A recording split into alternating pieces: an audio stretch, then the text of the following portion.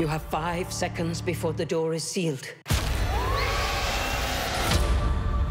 What is this place? Just let them see you.